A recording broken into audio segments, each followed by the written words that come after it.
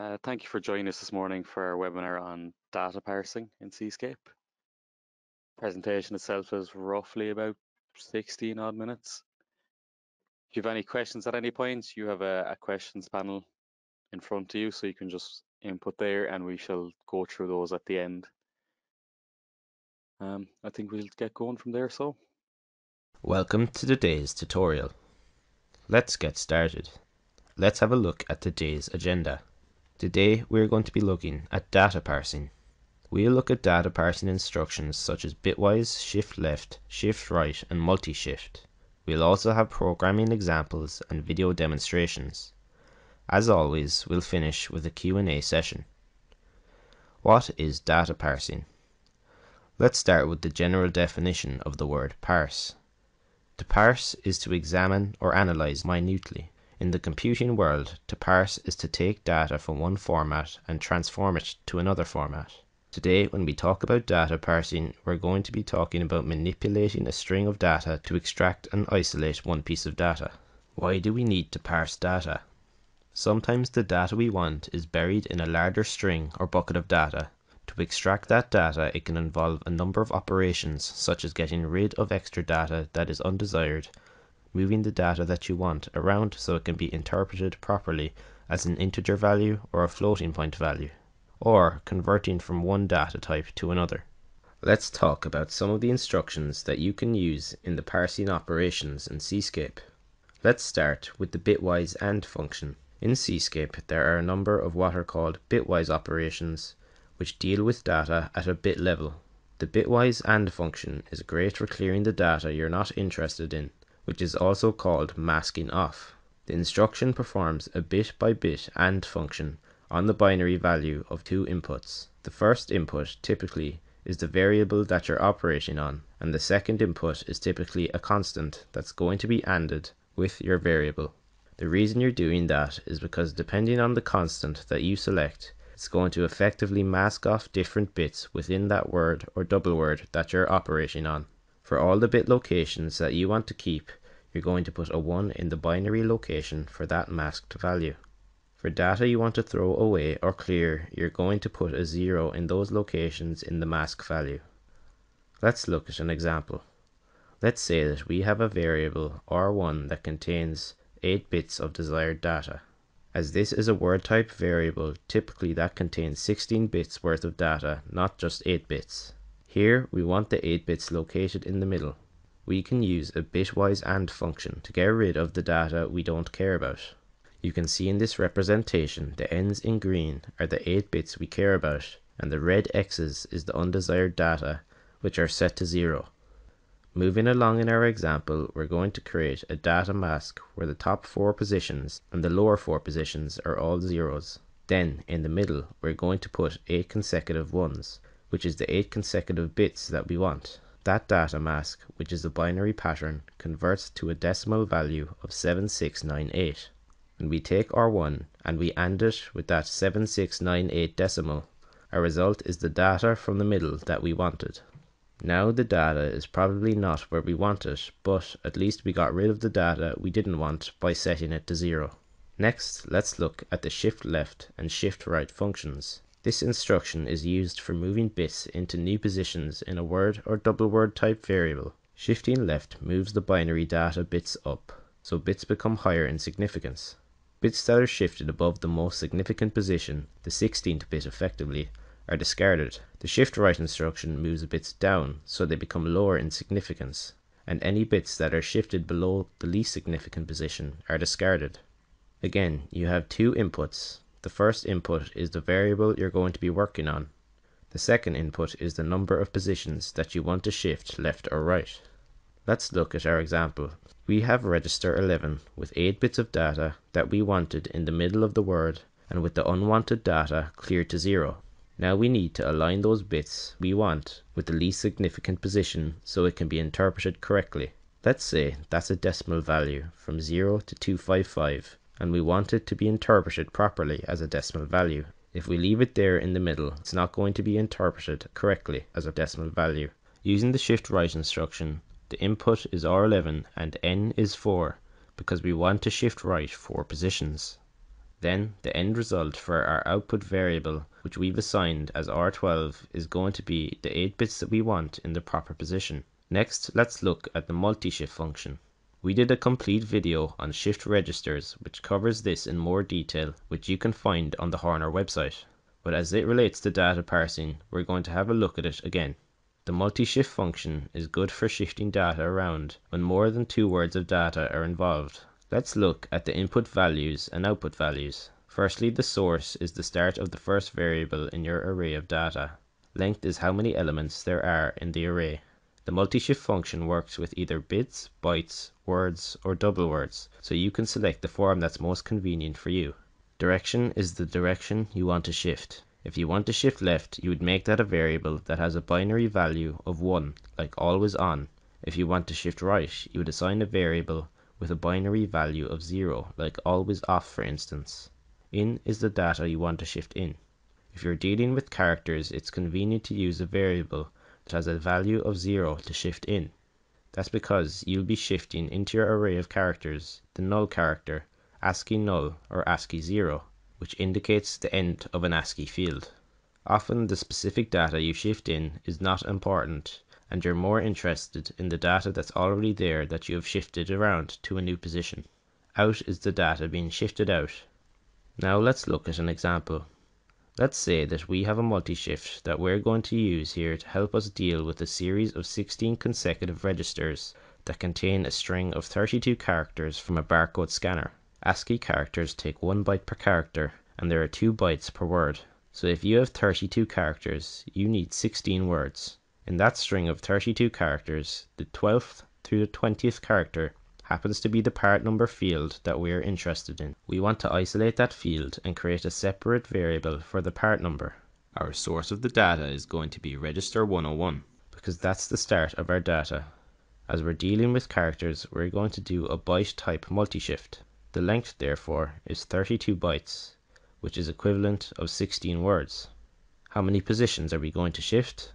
We've said that the part number field starts at the 12th character why wouldn't we shift 12 positions here?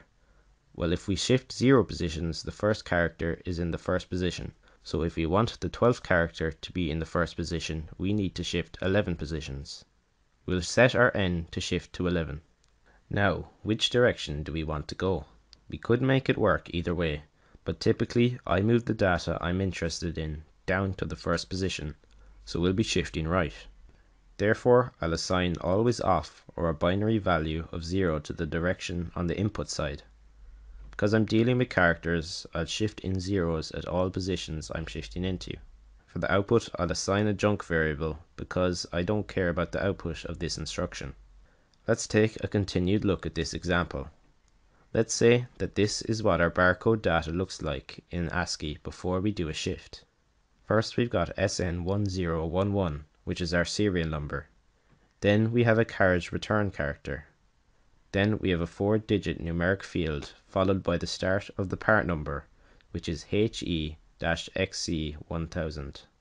After that, we've got a carriage return, a date field, and then a couple more carriage return characters, and then a line feed. The information we're interested in starts with that HE-XC1000.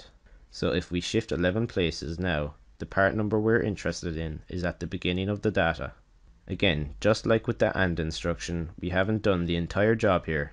All we've done is move the data we care about to the first position so it's easier to work with.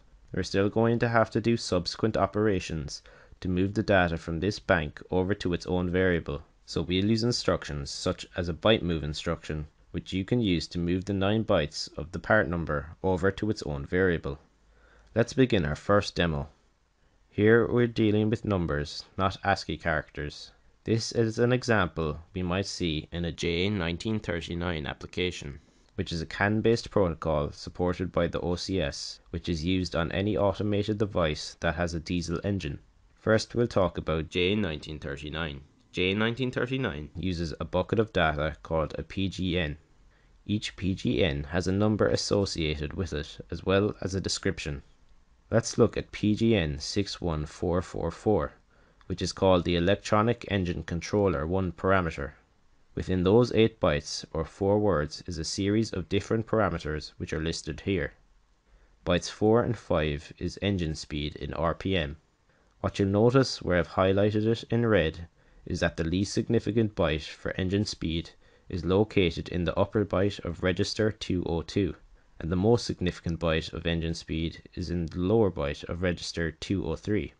So where it resides it cannot be currently interpreted as a proper 16-bit decimal number. What we need to do is shift the bytes around so that they are next to each other in the same variable. So let's go into Cscape and see how we would program that. I'm not covering here how the data came in from a J1939 standpoint. I'm assuming the data is already here and we're just going to handle that data. Here I'm using the shift right instruction. I'm dealing with a 32-bit value. I've been able to isolate the data I'm interested in into a variable that's 32 bits long. That means the shift left and the shift right instructions can be used. I'm going to shift right 8 positions, which moves the data down 8 bit positions or 1 byte. Then I'll take that result and store it in a new variable that I've assigned to register 211.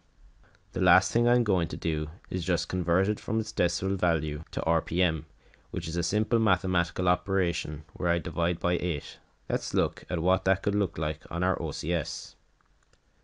Here is the numeric parsing screen. At the top, I have four word type data fields that are showing the four words for PGN 61444. Looking at the data as individual words on the OCS, you can see those are the decimal values that we are looking at for those four words. But the data we're interested in, again, is buried in a couple of bytes that are not falling on word boundaries. Then I did my shift. My result was a value of 16,000. Then my engine speed in RPM was calculated by dividing that by 8.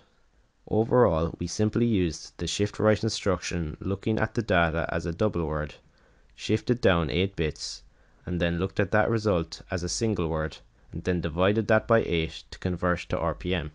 In our second demonstration, we're going to be parsing ASCII data using the example I showed in the previous slides.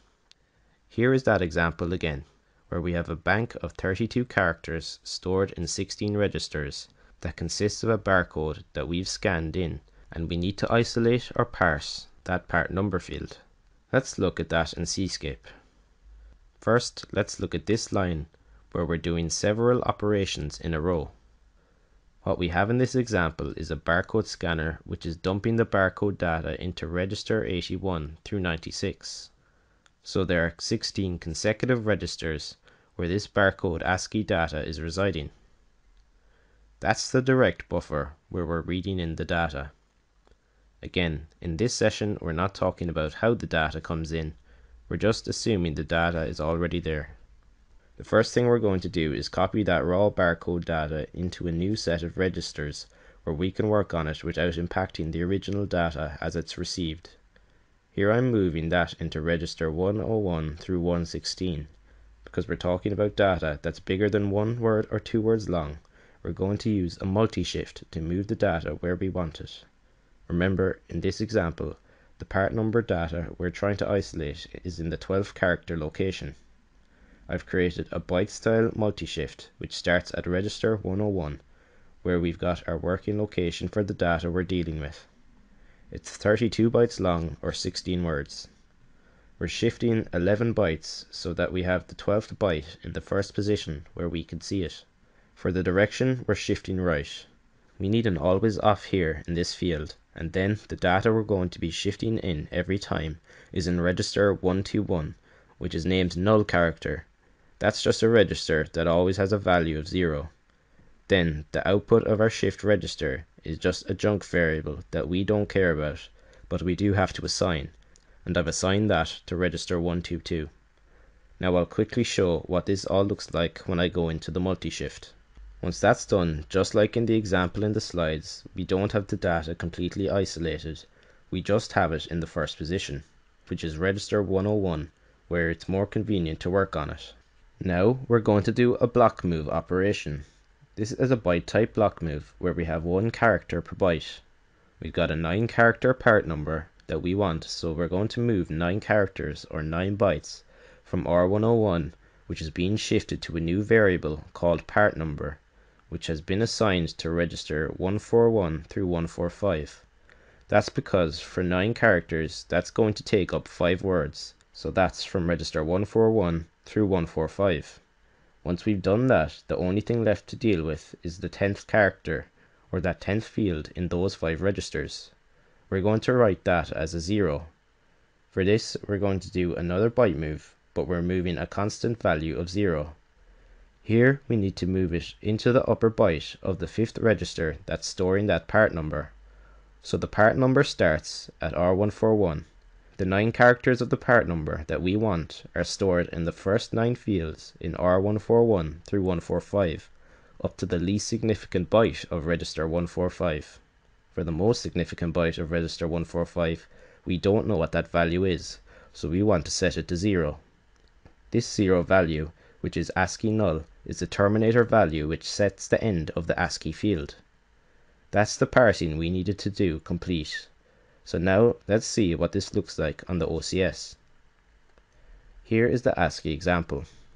At the top you'll see the raw barcode data. It starts with the serial number field SN1011. That's followed by a box, which is a carriage return character. It can't be drawn another way, so it's just represented by a box.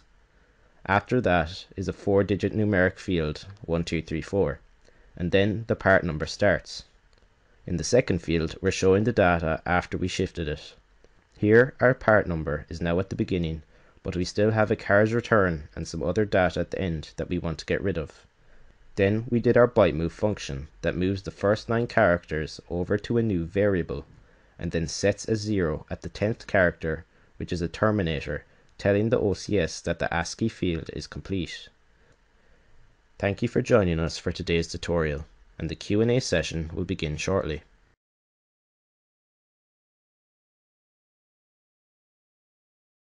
Okay, we'll have a quick look at the questions panel. Um, how did you determine the decimal value for the AND block? Um, so for that, depending on the bits you need to be zeroed, you can just write the value in, say, even the calculator app on your PC in binary, and then just choose the decimal option then, and you'll have the decimal value required. Uh, not seeing anything else just now. Okay, I shall go to the screen as we always do. Which, excuse me, hopefully you can all see now. Um, if you can't, you can just drop it in the questions panel. Um, so that's today's webinar. We do not have a webinar next week, as we have noted down here, as it is St. Patrick's Day, a national holiday, or Paddy's Day as we like to call it. Uh, but the week after, we do have, we are returning with analog filtering techniques into custom fonts the week after, and then using WebMI.